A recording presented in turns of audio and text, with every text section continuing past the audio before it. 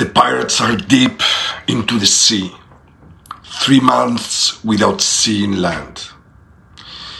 Every evening they get together to tell their legends. And one stormy night, one pirate asks another, What happened to you? pointing at his leg. And the pirate said, I, I wrestled a shark and lost my leg. The first pirate pointed to the pirate's hook and asked, How did you get that? And the pirate said, I, I fought Redbeard's crew and lost me hand.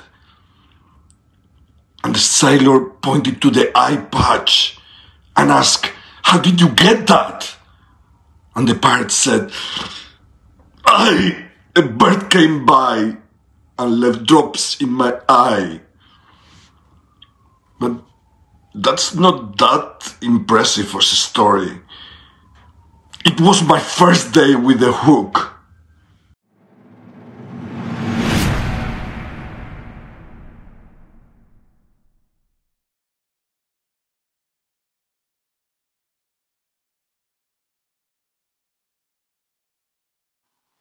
There once was a pirate ship on a terribly long voyage across the seven seas.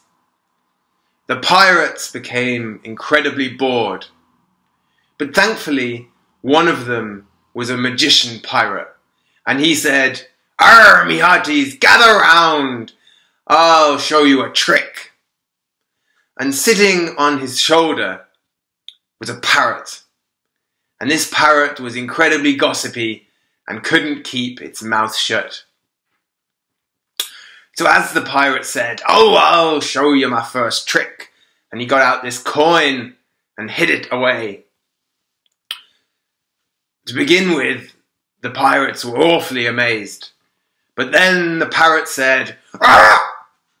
The coin is in the other hand! Ah! Oh, said the pirate, you're giving it away, ruining my trick. All right, another one. So this time he pulls out his cards and does an amazing card trick where cards seem to disappear from thin air. And just as the trick is reaching the pinnacle, the parrot squawks out again. Ah!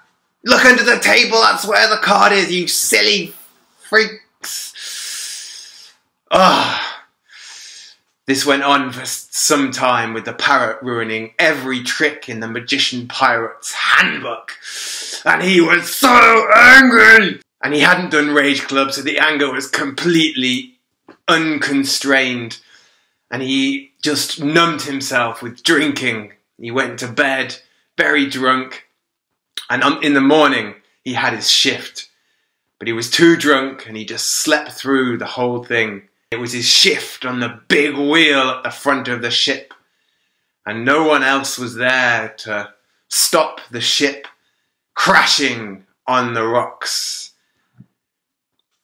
The next morning, the pirate had a terrible hangover. Oh, that was a rough night. And as he was coming to, he noticed that the ship was gone. And all around him were bits of driftwood and no pirate friends in sight. He was all alone, this pirate magician. Oh! And just as he was starting to get terribly lonely, the parrot, who had ruined his life yesterday, came and sat down on his shoulder. Ah! The parrot said, Okay, this time I give up. What did you do with the boat?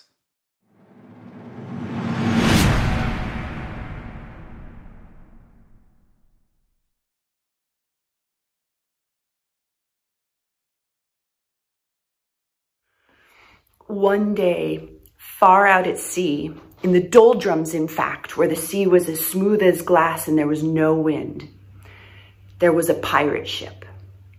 And on this pirate ship, there were four pirates. These weren't your normal pirates. These were pirates where every one of the pirates was a captain. They were using Torus technology. In any case, the ship was ship-shape because they'd nothing to do but clean. They didn't even do it in whiz-bang mode. And they were sitting about the deck one day, waiting for the wind to pick up.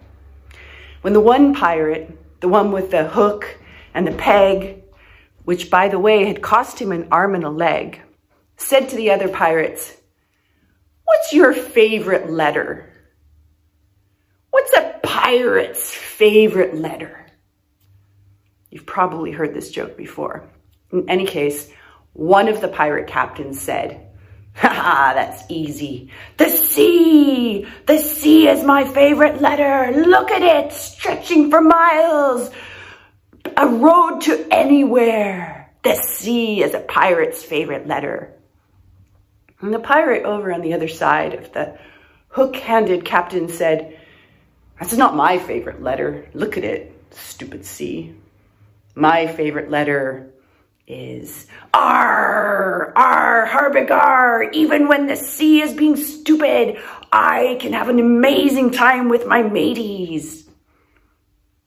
Cool, said the hook-armed captain.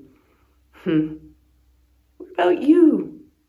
And he pointed his chin to this young pirate captain who's kind of sitting back. And the young pirate captain said to him, no, I want to hear what your favorite letter is. And the hook-handed captain said, I asked you first. So this younger captain pirate, he said, hmm, you know, strange as it may sound, this pirate's favorite letter is all the bees, all the bees. It took the other two a couple seconds to catch on. They were like, bees? What? What? How can you be a pirate and your favorite letter is bees? What does bees have to do with piracy? And the hook-handed captain said, oh, hold off now. You know, we practice Torus technology here. And on this ship, Every pirate can choose their own favorite letter using their own authority. And they're like, oh yeah, yeah, true, true. But what does bees have to do with piracy? Well, maybe when the rum runs out, him and his bees will make us mead. Yeah.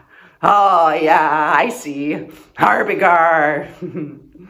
and the young bee-loving captain then said to the captain with the hook, he said, okay, your turn now. What's your favorite letter? And the hook-handed captain said to him, looking him straight in the eye, he said, my favorite letter is you. And the bee-loving pirate said, me? And the captain said, you. Ha ha. And they both got it and they had a big hug and the other two were kind of like, wait, wait, what, what just happened? But the hook-handed captain looked at each of them in turn and said, and you, and you, and then they all caught on and they all came together for a great big group hug and the hook-handed captain was very careful not to hook any of them with his, with his pointy hook. And what do you know? The wind picked up. The sails filled. They all started running around to get them in position and their adventure continued. Thank you for listening to my podcast.